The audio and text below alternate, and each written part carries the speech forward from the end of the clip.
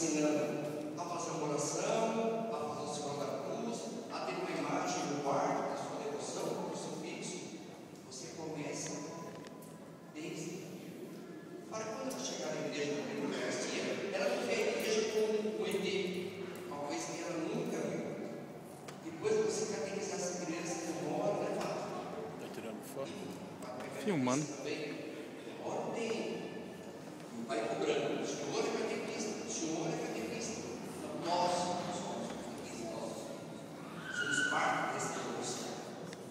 mais